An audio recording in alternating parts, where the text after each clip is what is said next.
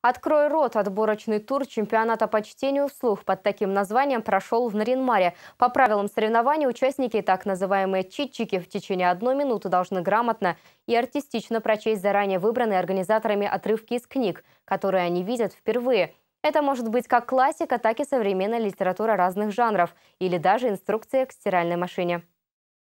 Чемпионат по чтению вслух в Наринмаре состоял из четырех раундов. В первом каждый из 25 участников декламировал незнакомый для себя отрывок из произведения русской литературы. Вот ведущий, он же создатель чемпионата, дает старт читчику и засекает ровно одну минуту.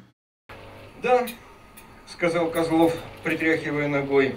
Она очень испугалась. Еще бы. Но сообразила, что бежать ни в коем случае нельзя. Это все же она сообразила. Но тут хулиганы подошли ближе и начали в ухо громко свистеть. Они думали оглушить ее свистом. Но из этого ничего не вышло, так как она как раз на это ухо была глуха. Тогда один из хулиганов шваркнул ее палкой по ноге, но из этого тоже ничего не вышло, потому что как раз эта нога была у нее еще пять лет назад тому ампутирована и заменена протезом.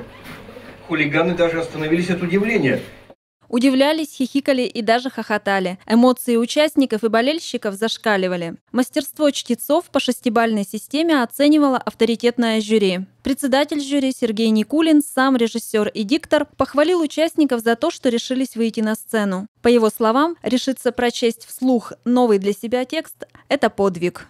Поэтому вы очень э, большие молодцы. Э, дело в том, что когда даже вот э, в студии садишься писать текст – и если только тебе его принесли, это всегда очень сложно. И до этого нарабатываешь. И если даже, здесь даже бывает, э, профессионализм мешает, потому что ты э, стараешься произнести его хорошо, качественно, донести, и тут начинаешь в, в уме сразу же править. Э, не буду вам дальше подсказывать. Чтение вслух – давняя традиция. Соревнование по красивому чтению придумал новосибирец с литературной фамилией Михаил Фаустов в январе 2011 года после открытия книжной лавки «Собачье сердце», чтобы привлечь внимание читателей. Позже к чемпионату присоединились и другие города. Так он стал всероссийским, а столица Ненецкого округа стала 103-м городом только за 2016 год. Цель очень простая, чтобы хорошие люди собирались вместе, как можно чаще читали друг другу хорошие книжки. Это вот самая главная цель. В этом году проект получил поддержку посольства Великобритании в России. По причине совместного года литературы Великобритании и России шесть финалистов читали сонеты Шекспира. Книгу с сонетами британского классика, на которой оставляют подписи победителя отборочных туров, Михаил привез с собой.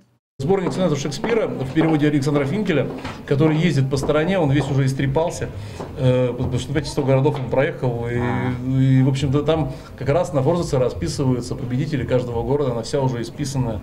Э, вот, сегодня э, я так думаю, что 6 человек доберутся до Шекспира. Вот, но до Шекспира добраться это, это отдельное удовольствие.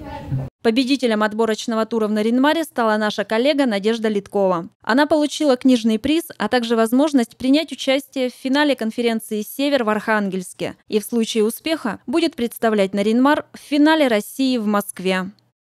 Татьяна Поздеева, Надежда Литкова, Вадим Носкин, телеканал «Север».